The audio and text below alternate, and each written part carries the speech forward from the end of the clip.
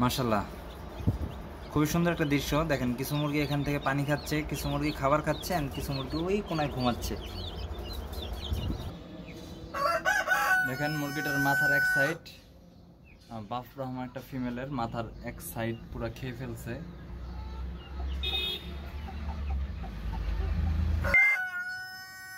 খামারের খুবই গুরুত্বপূর্ণ একটা ওষুধ সিপ্রোসিন। আসসালামু আলাইকুম হাই এভরিওয়ান আমি Roman welcome to my new blogs তো প্রথমে ভিডিওর প্রথম অংশ দেখে হয়তো বুঝে গেছেন, আজকের ভিডিওতে বেশ কিছু টপিক নিয়ে আলোচনা করব। তিনটা ভাগে ভিডিওটা বিভক্ত থাকবে। প্রথম স্টেপ থাকবে ফার্মের ডেইলি লাইফ আপডেট এবং ফার্মে কি কি সেল করার মতো আছে। ফার্মে সেল করার মতো কি কি আছে, এটা থাকবে প্রথম স্টেপ দ্বিতীয় স্টেপে থাকবে একটা মুরগি গত ভিডিওতে আমি দেখাইছিলাম, কলম্বিয়ান বাফ ব্রাহ্মা যদি আবার দেখাই। এই যে এই মুরগিটার এক সাইড খেয়ে ফেলছে মানে পুরো এক সাইড খেয়ে ফেলছে, কে খাইছে, কীভাবে খাইছে এটা এটা দেখাবো। আর তৃতীয় বিষয়টা থাকবে হলো ফার্মের মেডিসিন বিষয়। তো তিনটা স্টেপ কমপ্লিট করবেন, ইনশাল্লাহ নতুন কিছু শিখতে পারবেন।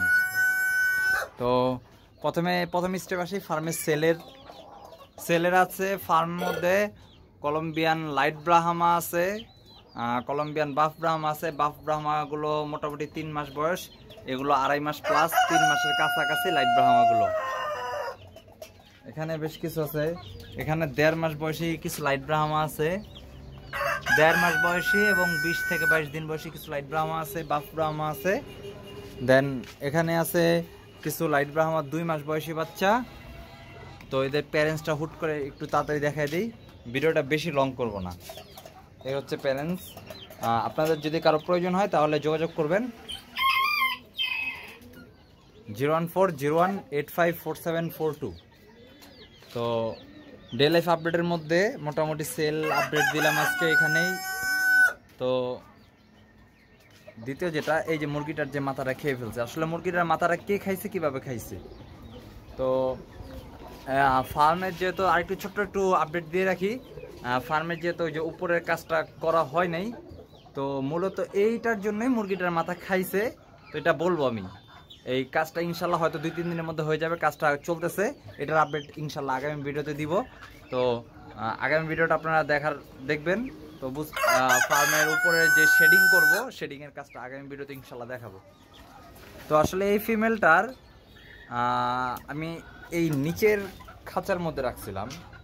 নিচের খাঁচার মধ্যে রাখার কারণে আমার এই মেলটা প্রচুর অ্যাগ্রেসিভ প্রচুর অ্যাগ্রেসিভ প্রচুর ব্রিড করে। এ দেখেন, এই ফিমেলটারও মাথার এখানে চুল নেই ব্রিড করতে করতে। আর পা রাখে যে পিঠে, এখান থেকে উঠে গেছে চামড়া। তো এই মেলটা এই ফিমেলটারও মোটামুটি চামড়া চামড়া উঠে ফেলছে, কিন্তু এর পুরা মাথার মগজের প্রায় এক সাইড খেয়ে ফেলছে, বের করে। ঠিক আছে? মেলটা খুবই অ্যাগ্রেসিভ একে ফার্ম থেকে খুব তাড়াতাড়ি ছেড়ে দেবো ইনশাল্লাহ সেল পোস্ট দিয়ে দিছি, দেখি কি হয়। এখানে আরেকটা মেল আছে, এই মেলটা রাখব আর কি। তো দুই- দুই নম্বর স্টেপ কমপ্লিট তিন নম্বর স্টেপ হচ্ছে যে একটা ওষুধ দেখাইছিলাম, ওষুধটার নাম হচ্ছে সিপ্রোসিন সিপ্রোফ্লক্সিন সিপ্রোফ্লক্সিনটা খুবই একটা কার্যকরী ওষুধ। এটা এমন একটা অ্যান্টিবায়োটিক, এটা মাল্টি পারপাসে আপনি আপনার ফার্মের জন্য ব্যবহার করতে পারেন। এক নাম্বার হচ্ছে, আপনি মুরগির পায়খানা জনিত পেটের সমস্যা, যে কোনো পেটের সমস্যার জন্য এটা ইউজ করতে পারেন। দুই নম্বর সমস্যা, মুরগির শ্বাসতন্ত্রের যে কোনো সমস্যার জন্য ইউজ করতে পারেন। তিন নাম্বার হচ্ছে, মুরগির ঠান্ডা, কাশি, ঠিক আছে? মানে এক কথায়, মুরগির ইচ অ্যান্ড এভরিথিং সমস্যার জন্য একটা ওষুধ খুবই কার্যকরী, এটা ফার্মে রাখতে রাখা একান্তই জরুরি। তো এখন থেকে ভিডিওগুলো এরকম তিন স্টেপে হবে। ফার্মের আপডেট প্রতিদিন একটা করে মেডিসিনের ব্যাপারে ইন্ট্রোডিউস অ্যান্ড ফার্মের সমস্যা এবং এটার সমাধান কীভাবে করবে এটা নিয়ে। তো সম্পূর্ণ ভিডিওটি দেখার জন্য ধন্যবাদ। ইউটিউব থেকে দেখলে অবশ্যই চ্যানেলটি সাবস্ক্রাইব করে রাখবেন ফেসবুক থেকে দেখলে ফলো করে ফলো করে রাখবেন।